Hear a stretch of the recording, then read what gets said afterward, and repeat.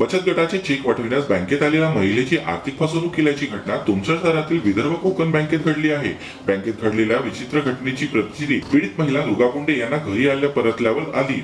तिला बँकेत एक प्रौढ इस तब्बल एकवीस हजार रुपयांनी गंडविले आपली आर्थिक फसवणूक झाल्याचे लक्षात येताच दुर्गा कुंडे यांनी बँकेशी संपर्क साधून बँक व्यवस्थापकाला आपबीती सांगितली. बँक प्रशासनाने सीसीटीव्हीचे रेकॉर्ड चेक केले असता चोरीचा विचित्र प्रकार समोर आला.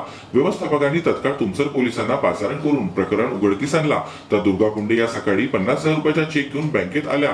चेक कॅश करून काउंटर सोडताना चित्रफित तीत पीडित महिलेशी प्रौढ इसम.